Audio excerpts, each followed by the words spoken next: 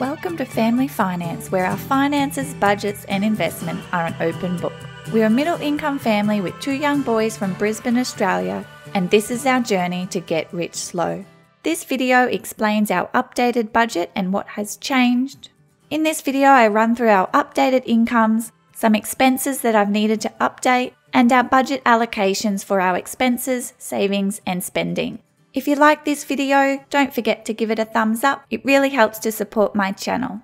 The information in this video is for entertainment and general information only. You should always do your own research. You can read my full disclaimer in the description box below. So to begin, we had to adjust our incomes because my income has been reduced slightly. Because this financial year there are going to be 27 pay fortnights and my employer had to take out a little bit more tax. We are paying my husband slightly less, but we are hoping to try and sustain that amount rather than paying him more some weeks and less some other weeks. Now, this is the big one. Childcare and kindy fees have resumed, so we're now paying $250 a week. This is for a total of three days each for my boys in childcare and kindy. We are thinking that our four year old will repeat kindy next year, so we will still have another year of double fees, but I see that as an important investment in his education. Swimming lessons resume. This is only for our four year old. We'll probably start our 18 month old after summer. We have a pool at home and we want to get him a little bit more confident in our pool at home first. Our private health insurance has gone up because it now includes baby cover. I had one good night's sleep and I thought it would be a good idea to have another baby. But don't worry, that didn't last long. But I thought I'd leave it there for a few more months just to decide.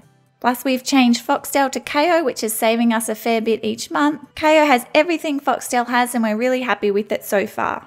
Remember, everyone's situation is different, and in our budget, we don't need to include car expenses, phone, or internet because these are paid within my husband's business. So I do recognise that this helps us out a lot.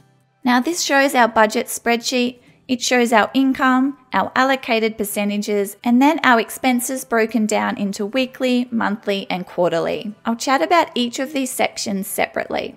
This is a snapshot of our budget. I round down our income to 1750. I then round up our expenses to $1100. The spreadsheet then works out the percentages for me. A big change is that I've changed our growth amount to $500 a week we are on track to save $30,000 for growth this year, so I want to see if we can try and sustain that.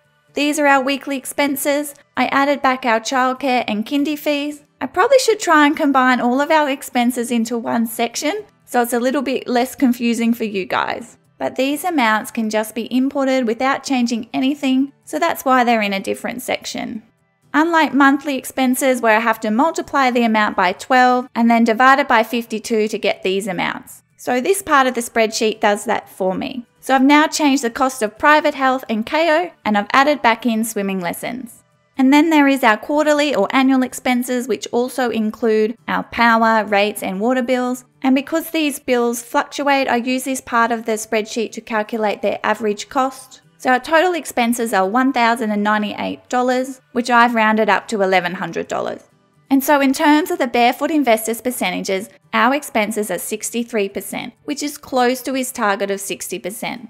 Our growth is 28.5%, which is higher than his recommendation of 20%, but I think it needs to be. His recommendation is more so if you want a comfortable retirement at 65, but we want to retire much earlier than that. And that's why our spending is only 8.5%, and that also includes our holidays. What we don't spend each week, we let accumulate for holidays. We have a $3,000 holiday to pay for at Christmas time.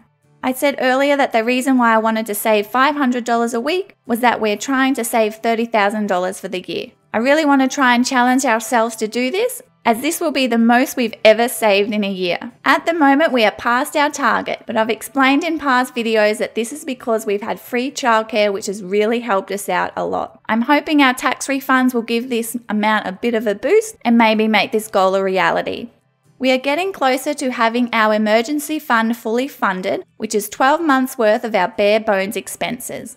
I've reduced the target recently because although my husband's job is not stable, mine is, and we're currently on target to save that by the end of the year. But I am tempted to fully fund it now so that all future dollars can go towards investing. So I'm not choosing each month if I should invest or put it towards the emergency fund.